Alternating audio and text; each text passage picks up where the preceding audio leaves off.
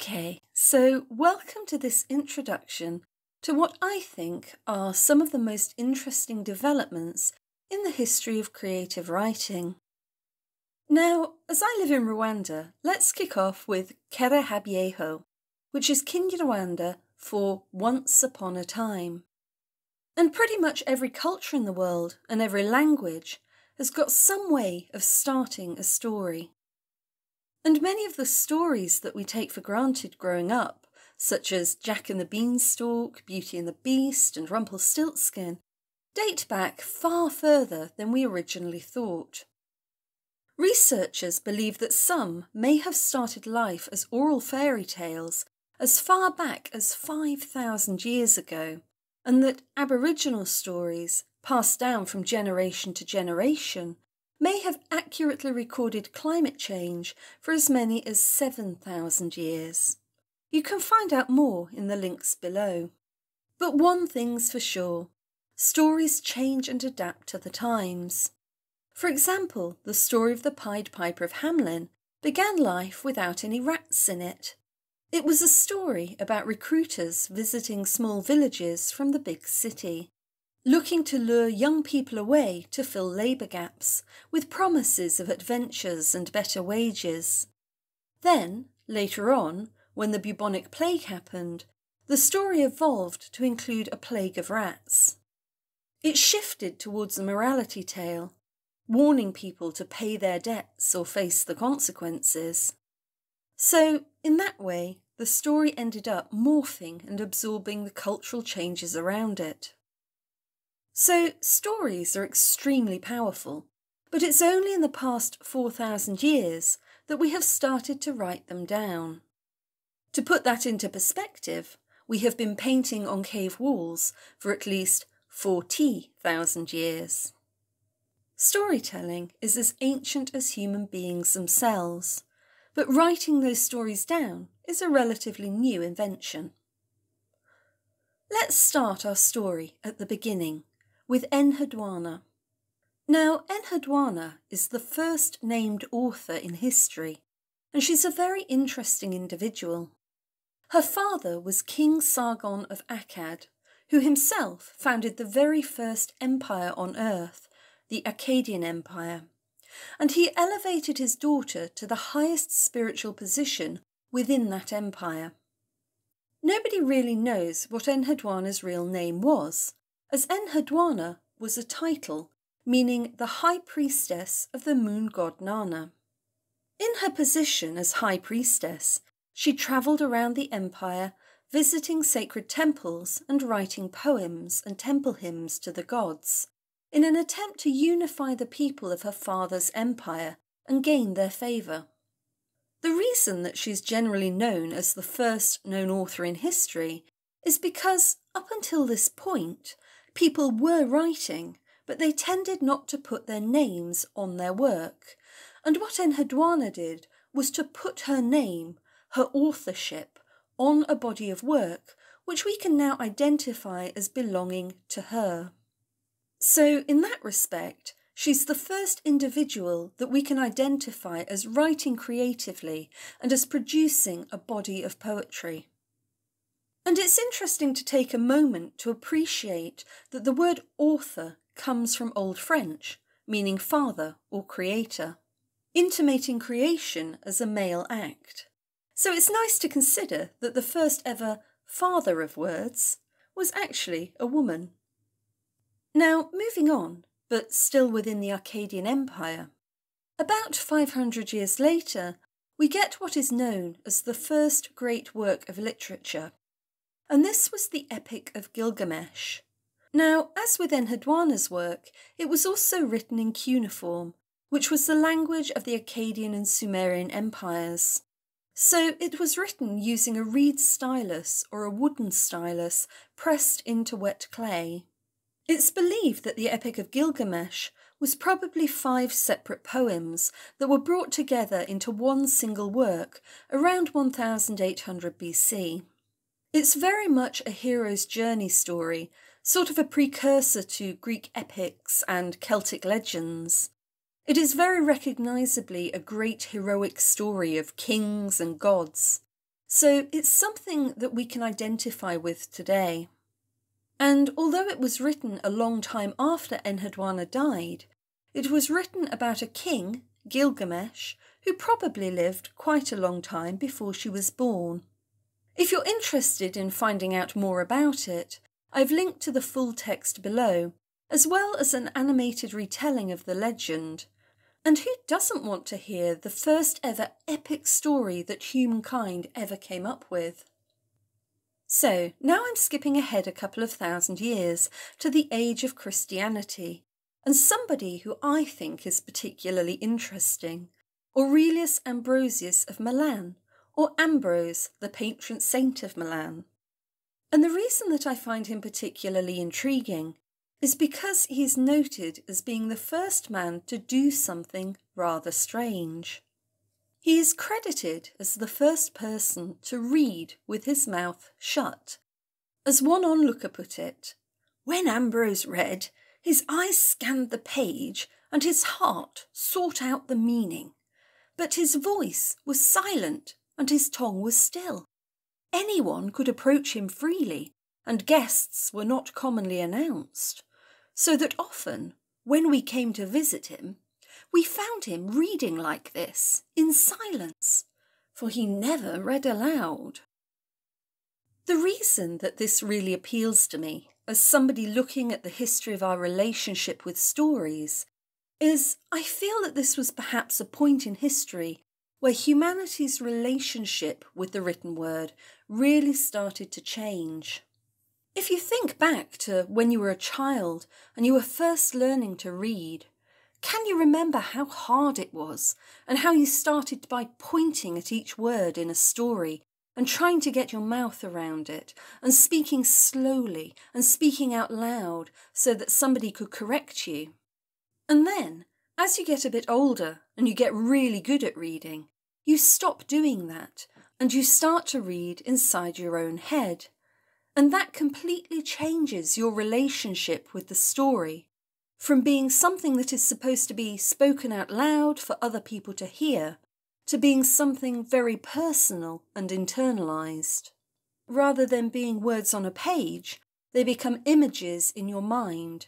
And so I feel like at this point in history, humanity kind of came of age with the written word and started to adopt stories as being an actual internal part of ourselves rather than being something external.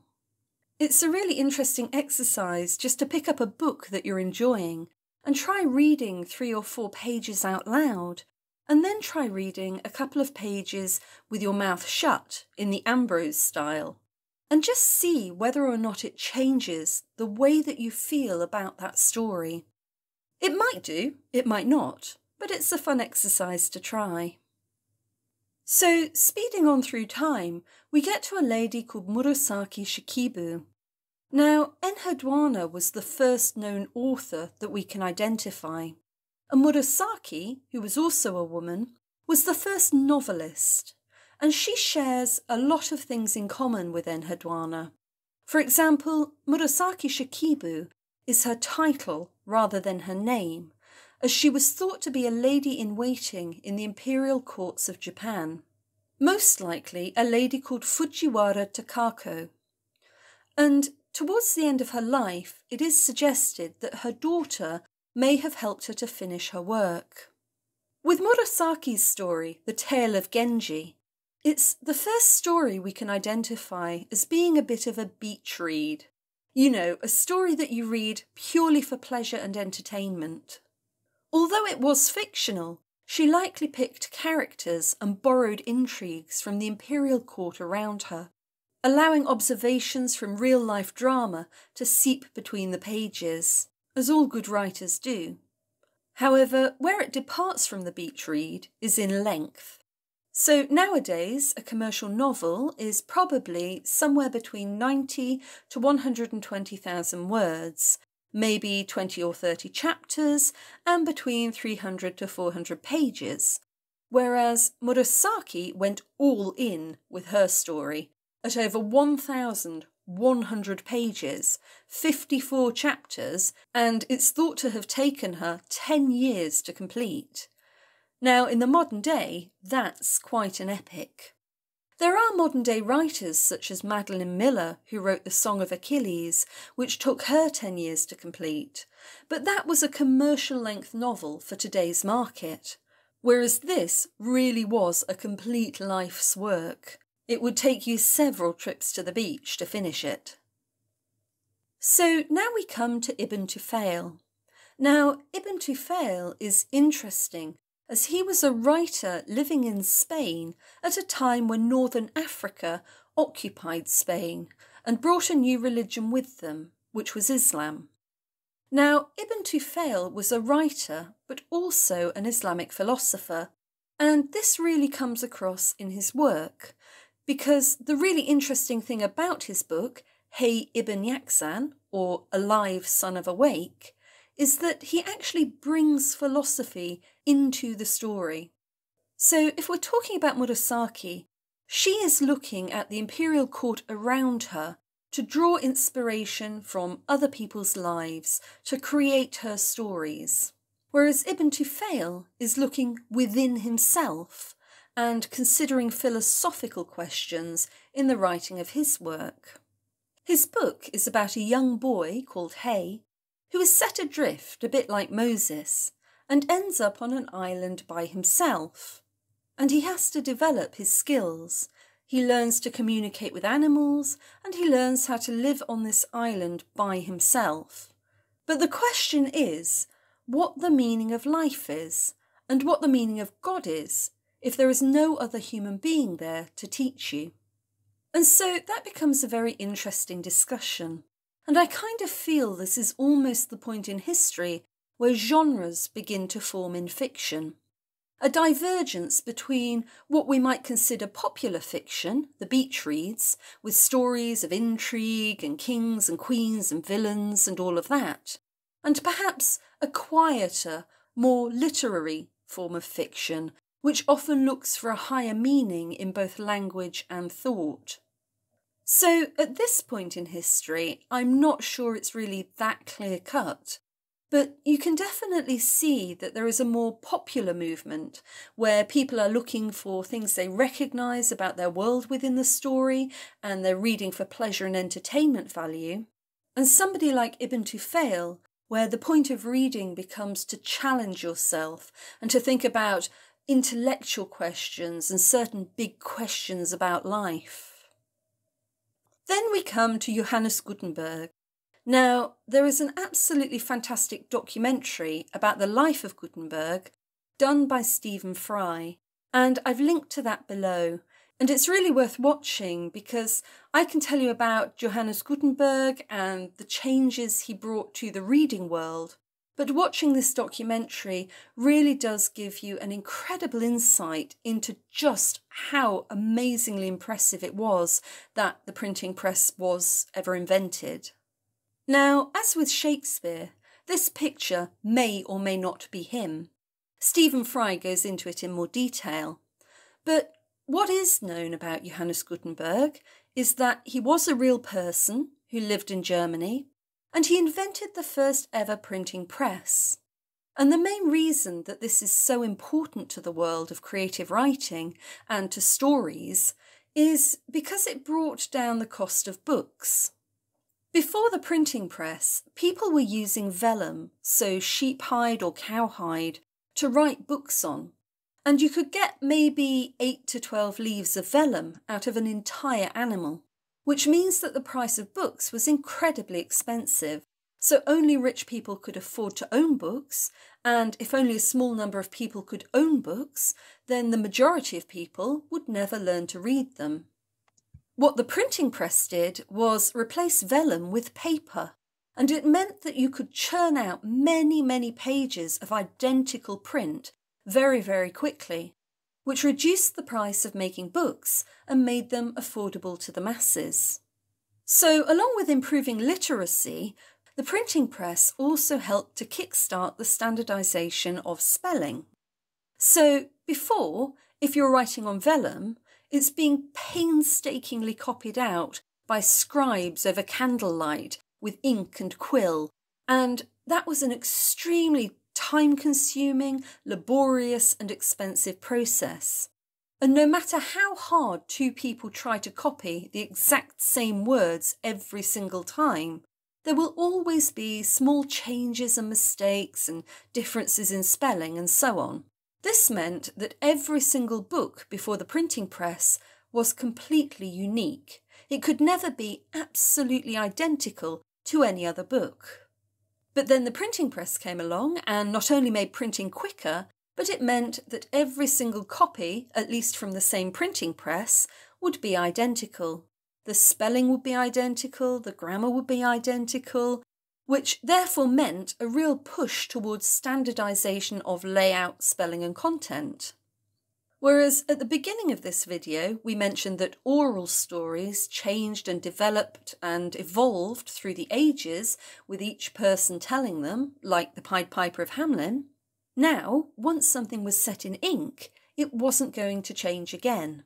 So you could be certain that somebody reading a story in Britain or reading a story in Australia or America, providing the book came from the same press, it would be the exact same words in the exact same order, and the same story would unfold at the same pace all around the world. So that's an interesting turning point. Now, just to introduce two unfamiliar faces very quickly, the first novel published in Europe is largely considered to be Don Quixote by Miguel de Cervantes.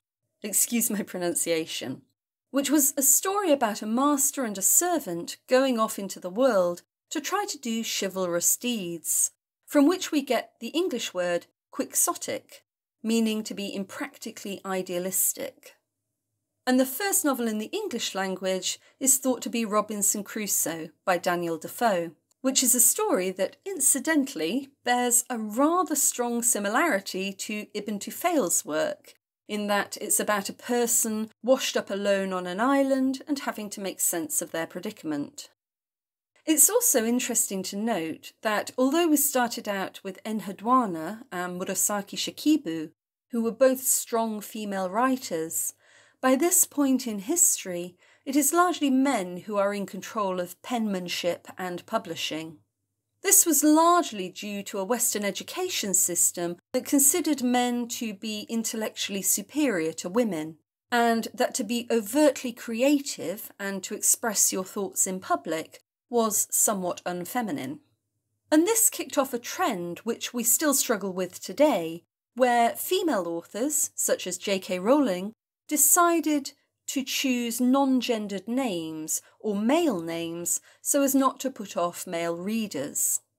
You started to see this more in certain genres, such as science fiction and crime writing, which were traditionally considered to be male realms. Examples such as Alice Norton becoming Andre Norton and Emily Bronte becoming Ellis Bell with people claiming that Percy Shelley must have written Frankenstein because, obviously, a woman couldn't possibly have such an imagination. Now, it definitely wasn't true that every woman had to write under a male name in order to get published. There are many, many women who successfully published under their own names. But it did become an option for women who didn't feel that they would be read or respected within their genre if they wrote as a woman, or felt that they might face public ridicule. Moving along a little further, we start to see the rise of the penny dreadful in Victorian England. And the Penny Dreadful was just a short story, usually about horror or crime, that you could pick up for the bargain price of a penny, which most people could afford. So by this point in history, we're getting mass printing, we're getting huge readerships, and an increasing literacy rate, so the majority of people in most developed countries at that time could read to some extent. However, this also started to raise concerns. The same kind of concerns that we have about young people watching movies or listening to certain types of music or playing computer games. So, in the 18th century, many prominent voices were concerned about the threat posed by people reading too much. A dangerous disease appeared to afflict the young, which some diagnosed as reading addiction and others as reading rage, reading fever, reading mania, or reading lust. Throughout Europe, reports circulated about the outbreak of what was described as an epidemic of reading. Okay, so we've had a little look at the very beginnings of creative writing, from ancient Mesopotamia to Japan and Europe. And I'm just going to take a little look at what was going on in Africa at the time. Now, Africa had one of the greatest libraries ever known, the Library of Alexandria in Egypt, founded by Ptolemy I, who was a Greek general in Alexander the Great's army. After campaigning with Alexander, he decided to settle down and declare himself Pharaoh of Egypt, which made him a distant ancestor of the last Pharaoh of Egypt, Cleopatra. And it was under Cleopatra's reign that the Library of Alexandria was popularly believed to have been destroyed by fire. Now, I've linked to another animation below, which is worth checking out as it gives an introduction to the library at Alexandria and also suggests that perhaps it continued in some form after it was believed to have been set alight. As well as Alexandria, there was also Timbuktu in Mali, which was a huge seat of Muslim learning.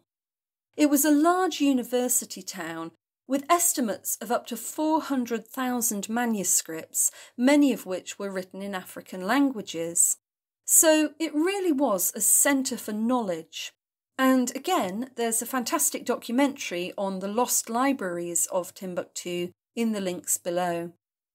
Then, in 1728, we get the first Swahili epic, Utendi wa Tambuka, which was an epic in the same way that Gilgamesh or the Odyssey were epics.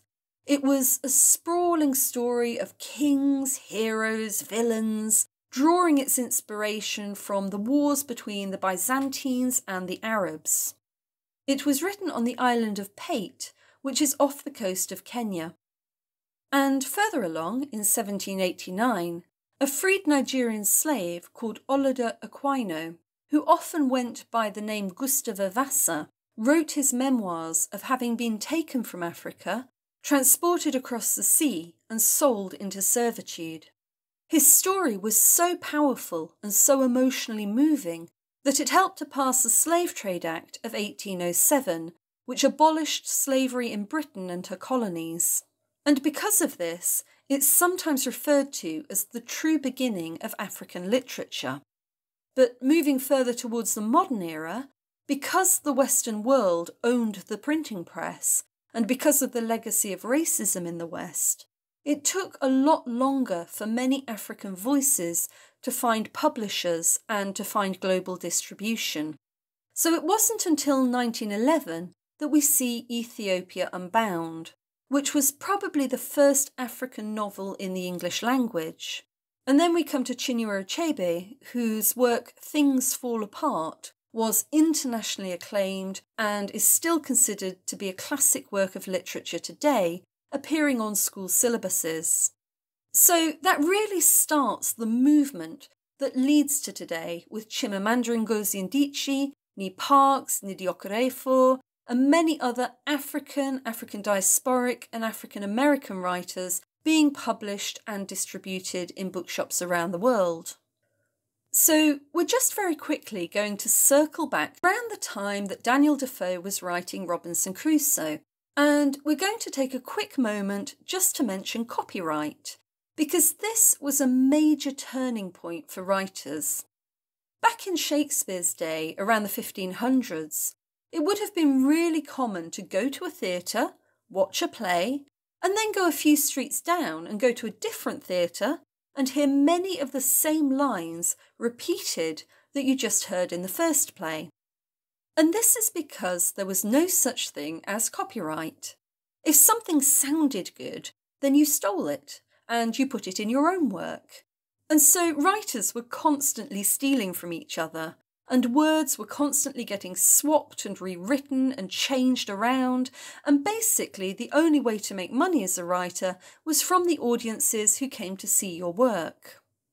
The importance of copyright is that for the very first time, around 1710, when the Act was passed by Queen Anne, a writer had the right to say, I own this work, I made this, therefore I have the right to make money from it. Because, let's face it, it's very difficult to convince somebody to pay you for something you cannot prove you own. So, the Copyright Act and intellectual property protection gave the author of the work the right to say, This belongs to me, and anyone who wants to use this needs to pay me for doing so. And this allowed writers to start to make a more secure, stable income from their art. And today, these copyright laws are largely covered by the Berne Convention and European copyright directives. And even here in Rwanda, we are starting to introduce copyright protection and copyright laws. But there is a general sense globally that stealing other people's ideas and stealing other people's words is not the done thing. So, zooming right up to the modern age with the introduction of ebooks. Around 1990, Tim Berners Lee invented the World Wide Web, and web browsers and the internet as we know it went global. Five years later, we get Amazon. Now, today we know Amazon as a one stop shop where you can buy absolutely anything. But Amazon began as a humble bookseller, putting people who were interested in selling books in contact with people who wanted to buy books. Then, in 2007, they introduced the first Kindle e reader, and the same year they developed Kindle Direct Publishing. For the very first time, this meant that anybody who wanted to self publish their work and distribute it internationally could do so. You no longer needed to go to a traditional publisher, and you no longer needed an agent to represent you. Anybody with access to the internet could start to publish their work, and this made the whole publishing process a lot more egalitarian, and a much greater diversity of voices began to appear. Other print on demand options started to appear, and you can now produce your book in e format, paperback, hardback, and audiobook. Now, it's usually at this point in the presentation that I like to show a little video called What is Literature Good For? which was created by the School of Life. So I've linked to that below, and it's worth just going and having a little look at that afterwards, because we've very briefly covered the 4,000 year history of writing stories. And so by this point, you might be sitting there thinking, well, why do we do it? Why, from ancient Sumer to today, are we so compelled to write stories down and to seek out stories to read. What is it that is so important to us as human beings that this tradition of writing stories has endured for so long? So, I do recommend that you have a little look at that video because it does kind of clarify a few things. But for my part, I'm just going to wrap up with this final quote that is usually attributed to Einstein. Now, Albert Einstein was one of the greatest scientific minds we have ever known. And as a man who was completely rooted in science and facts, you would expect that he wouldn't have much time for all this nonsense of telling stories and fiction. But it has been said that he attributed his ability for abstract thinking to the stories that his mother told him as a child. And one quote that is often attributed to him if you want your children to be intelligent, read them fairy tales. If you want them to be more intelligent, read them more fairy tales. So, I hope that you've enjoyed this quick tour de force of the history of creative writing. And I know that I have probably missed out some really major milestones along the way. And if you think that there is something that I should have included, please do drop a comment below. And if you've enjoyed this or you've learnt something new, please do give me a like and consider subscribing. And it's just nice to know that as writers, we are part of an ink stained tradition that stretches back to ancient times, and that everything we write, Every word that we put on the page is adding to those who have gone before us and is setting up the story for those who will come after.